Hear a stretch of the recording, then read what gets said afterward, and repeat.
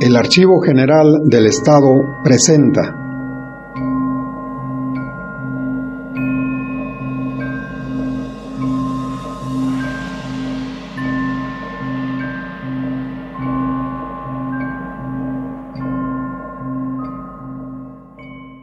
Muchas páginas se han escrito para hablar sobre la vida de Ignacio Zaragoza.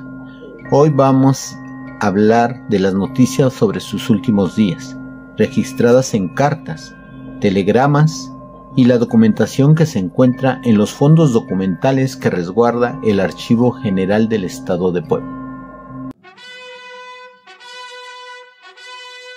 Con motivo del centenario del triunfo del Ejército de Oriente sobre las fuerzas intervencionistas, Jorge L. Tamayo recopiló en el archivo Juárez de la Biblioteca Nacional de México la correspondencia del general Zaragoza emitida en 1862, en el inicio de la intervención francesa.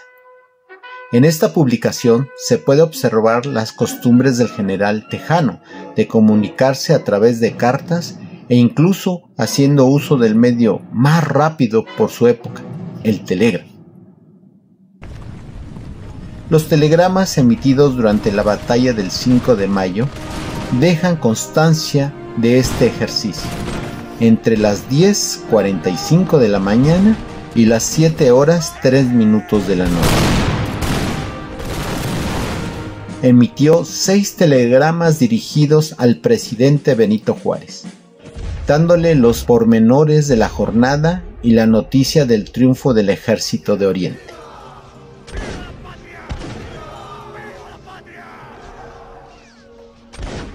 Su comunicación epistolar y telegráfica fue constante hasta que se contagió de tifo en los primeros días de septiembre de 1862. En su última carta dirigida al general Ignacio Mejía, le comenta de la gravedad de su enfermedad y por ello tendrá que separarse del mando, dejando esta responsabilidad al general Jesús González Ortega. Pide a su amigo y compañero le consiga una casa cómoda donde pueda estar aislado para atender sus males. El tifo acompañó a las tropas desde Puebla hasta Orizaba en su misión de expulsar al ejército invasor y causó grandes estragos en los soldados, sin distinguir nacionales o extranjeros, liberales o conservadores.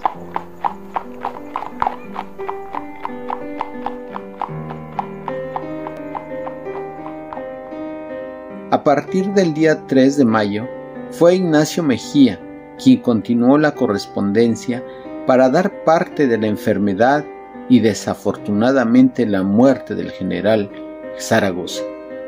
El día 5 escribe al presidente que lo atiende con esmero el doctor Petrocelli y Orellana, y él lo visita tres veces al día acompañado de Nacho Orozco.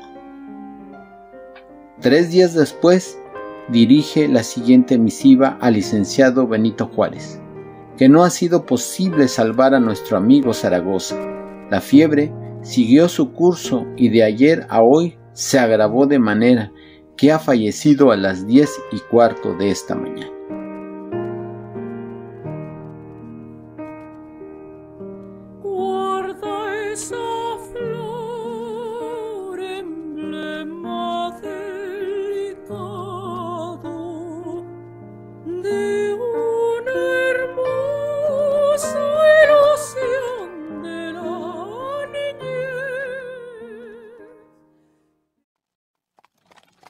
La noticia se difundió con mucha rapidez y el presidente ordenó que el cuerpo del general Zaragoza fuera llevado a la Ciudad de México.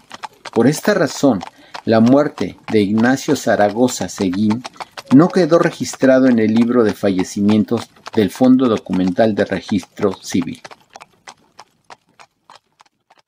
En el repositorio del Archivo General del Estado, en la colección de leyes y decretos y periódico oficial, se encuentran tres documentos.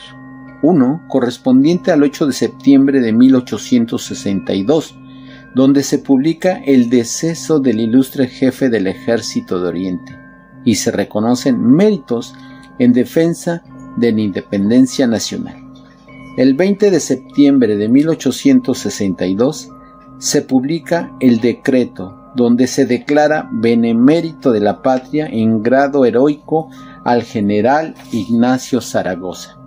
Se dote de pensión económica a su madre, hermanas e hija. Se decreta también que la ciudad lleva el nombre de Puebla de Zaragoza y dos calles donde vivió el general se nombren de Zaragoza y del 5 de mayo, la profesa y acequia respectivamente.